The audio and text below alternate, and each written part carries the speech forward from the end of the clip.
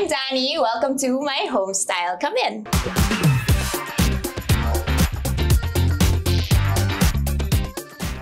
Hi guys, my name is Danie Laurel. I'm a news anchor and business journalist. I've worked at One News for over seven years now. I also professionally host and moderate a business and economic event. I am a mom to two amazing boys, Francesco and Mattia, 9 and 10 years old, and also a cat mom to Ace Latigre. Welcome to my small space. This apartment is just 29 square meters and one bedroom. It was meant to be a halfway house for me because it's very close to where I work in studio but it ended up becoming my forever home. I'm very, very used to small spaces, essentially because I was living in Europe for 12 years, and there you really live in Polly Pocket sized apartments and live off of your, you know, suitcase and just make sure that you don't buy too much stuff or it won't fit. So I've been used to that lifestyle. I like the pack and go lifestyle. I travel a lot. So I love being able to just lock up, not think about my apartment for a while, come home, and then feel like, oh, everything's here pala.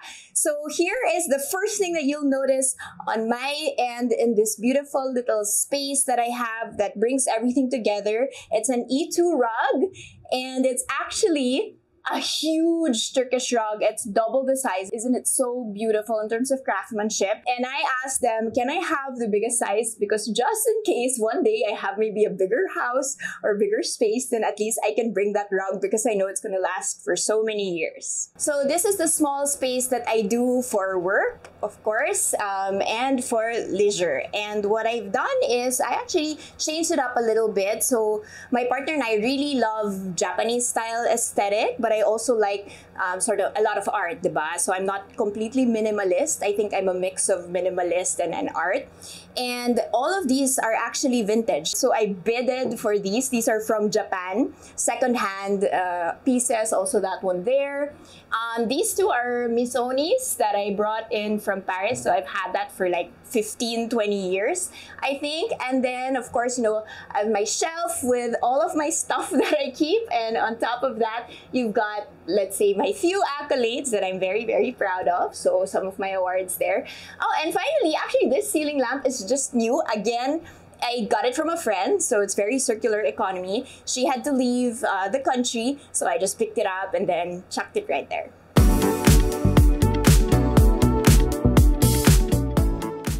If you look around, the first thing you'll notice is the art. I've just started collecting fairly recently.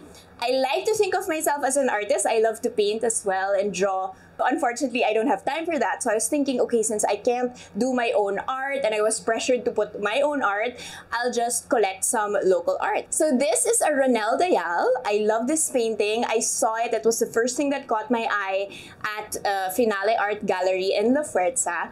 And I just felt like I was this little girl looking at a stack of books. And if you notice, it's not just any kind of books like novels. These are textbooks, and I actually have a picture of myself as a young kid exactly like this with a bunch of law books of my dad when he was working at the Securities and Exchange Commission. So there's an exact picture of me with this type of format. It also signifies to me all the books that I read later on while doing my PhD and becoming an academic for 13 years. And then it leads towards this part of the painting and you can see her, or at least that's how I feel, growing up into this very successful woman with black heels and a red skirt, and I feel that's me as well. This staircase um, is super interesting because I actually have a house in Alabang, and the back staircase of that looks exactly like this. And interestingly, you know, one of these houses, um, it actually leads to the service quarters. It's not the main staircase of the house and what that signifies to me is my relationships with those that took care of me throughout my childhood, because I would spend all my time with them um, in the service quarters, and they've become my best friends and the ones who looked after me. So that's kind of symbolic for me. And finally, here you have, you know, a painting of Rothko, um, which of course is the two favorite colors of my boyfriend. I remember painting one time a painting for him in exactly these types of colors, and also remembering um, the last time that my children went to the Pompidou was actually a Rothko exhibit. So that's what I love about this painting. Now, this is a Gabby Prado. I have three of her works. So this one, this one, and this one. And if you see all the other homes of young people, because I think Gabby is like 26 or 27 years old, you're gonna find a Gabby Prado there somewhere. So she's a very coveted artist right now. And this one I love. Um, it's a Bito, Studio Bito. So Dito found it, and we didn't honestly we didn't even know who he was. And with my art, we just buy things that we like without even honestly researching on the artist beforehand. And then when we found out, oh my God, he's so well known pala, I started searching for other things that I could buy of him. So this is one of those. I had to get that from uh, Cebu because it was pretty hard to, to get. So that's another Bito that I have. And then I do have a Marissa Lopa. So Marissa Lopa is a classic artist. She's very well known for nudes, and I'll show you some later on in my bedroom. Um, but yeah, it's the style of Matisse, so it's a bit of a sort of Fauvist. So that's what I love about this painting. And then finally, we have an Anya Bungato, which you know is so hard to get these days. Again, I just walked in. Um, her gallery is called White Walls, so she's represented by White Walls Gallery in La Fuerza. And she takes inspiration from old uh, Renaissance paintings, but she does it in such a modern way. So she'll research and juxtapose that. She'll paint out of an iPad from her apartment, you know, so very modern. From her condo, she has an iPad, she'll paint, and then she'll change um, some of the elements. So I like this. It's actually by a French-Italian painter. So I, I resonate with that. And it's about women chatting and having tea and, and enjoying life.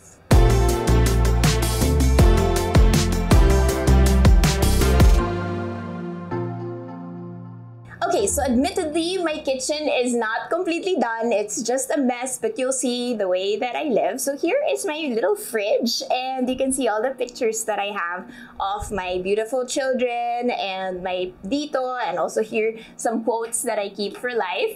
So that's my fridge, and then you'll have just a small, you know, shelf with all the condiments. We love condiments. Admittedly, I'm a bad cook. I don't like to cook. I like to clean, I like to do laundry, but I don't like to cook. So my partner does mainly most of the cooking and he loves to use a lot of spices. I even have a whole supplement thing. So we're actually very organic in this house. Um, we like all of these things. We don't normally take medicines. So a lot of these are Chinese herbs and all these other teas um, that we have. So a lot is like a healthy option sort of grocery.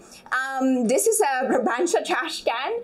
That was my dream. I told my boyfriend, you need to get me that trash can or, you know, that's the only gift that I want from you. It's a bit pricey, but it's definitely worth it. And if you look here, um, nothing major, but lots of, you know, little knickknacks here and there that I've stored um, and collected over time. And the my main feature, I guess, of my kitchen is the fact that the books are spilling over onto the ceiling. I just don't know where to put those books. They used to be scattered on the floor. So I decided, you know what? I can't put anything up there, so I might as well put my books.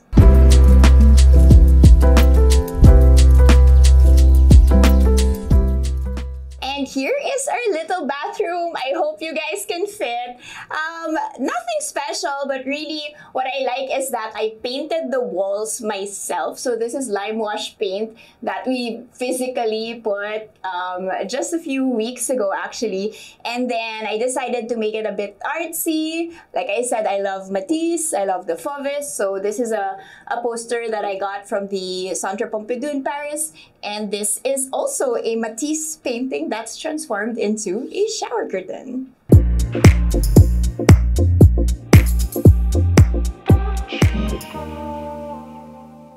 And finally, ah, my bedroom is okay. Come and I'll show you my bedroom. So it's very low key and very small. And what we decided, just as the Japanese style low furniture, that we would do a very low bed. So just some trivia on that actually.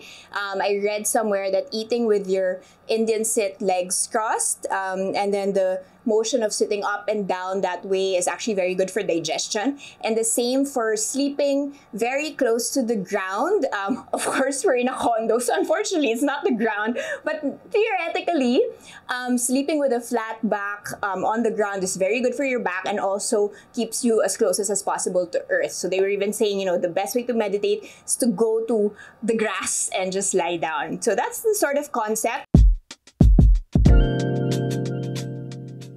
So this also I painted myself.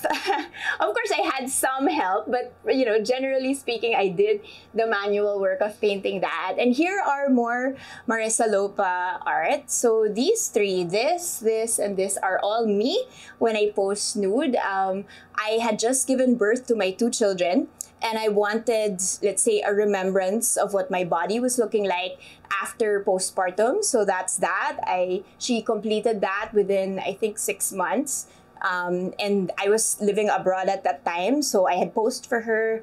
She painted it in Manila. I flew, and then I came back, and then surprise, this is what it looks like. So those are very special to me. Of course, I have my children there. I have my records player. Oh, I'll show you my records later on.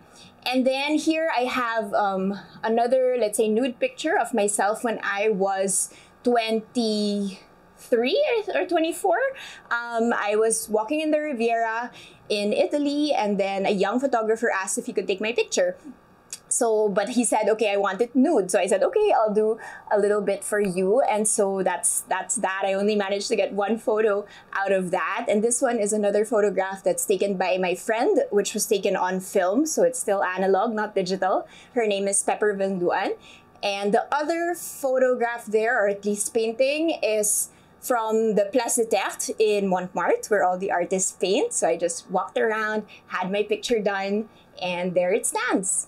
And finally, with a very small space, I don't like to keep a lot of stuff. So normally you'd think, you know, you're on TV, you have a lot of clothes, but actually that's not the case. I really like to keep very, very few things, mainly vintage, mainly designer. So this is it. This is mainly all my stuff. I still, I still have some stuff in Paris, which are mainly um, winter clothes, but most of my stuff are already contained in these cabinets um, and in these shelves. And if you'll notice here, these are all suits that I've had made from Suited Up Manila. So they all my suits are Suited Up Manila. They're all tailored and I just keep repeating the same suits like a hundred times. And I'm not gonna buy any other suit until I get more Suited Up Manila suits. So that's that.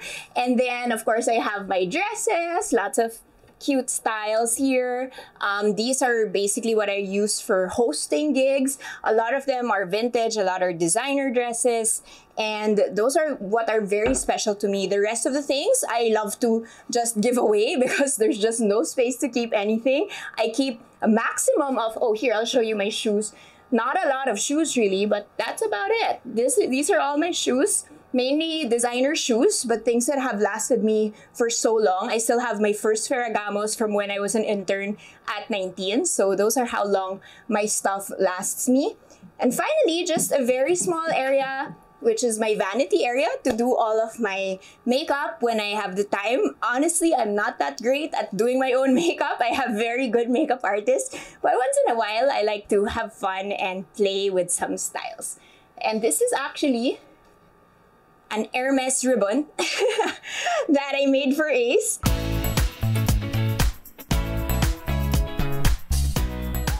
So in a small space, everything needs to be multi-purpose. So you actually saw this tiny coffee table. It's Japanese, it's vintage, and it actually has a slot for records. Isn't that cool? So let's take a look at some records that I've amassed over the years. We've got Joni Mitchell, so I'm a very folk rock, uh, old soul, Dire Straits, the Beatles, of course, modern English, um, and then some classics. So a bunch of those, still a lot underneath. But yeah, this is very, very handy for storage.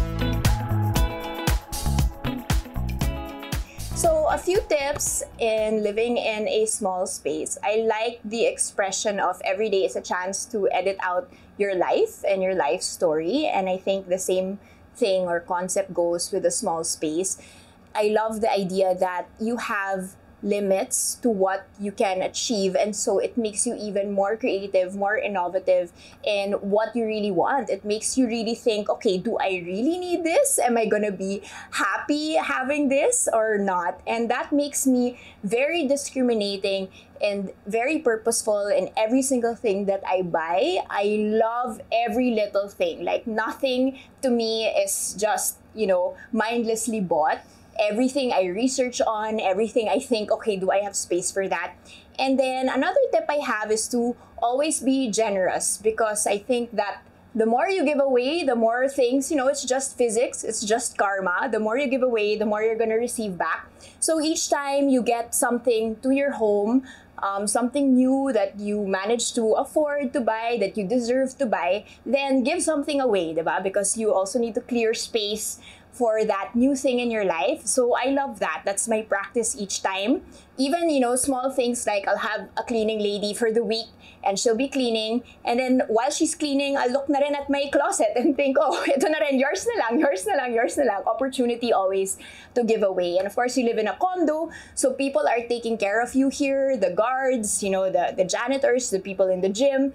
Um, and it's every day walking down the stairs is an opportunity to take some stuff that you no longer need and give it away. And I think that's the best way to maintain not just a, a, tidy home, but a home that's mindfully done, that you're very proud of, and of course, that you love to stay in. I think that's very important. Um, I'm a person that likes to travel the world. I'm a very active person. I'm always here and there. But at the end of the day, that also necessitates that I need to have my roots. I need to feel grounded. Every time I'm socializing, I also need the exact amount of time alone by myself in my own little place. And that's what I feel right now.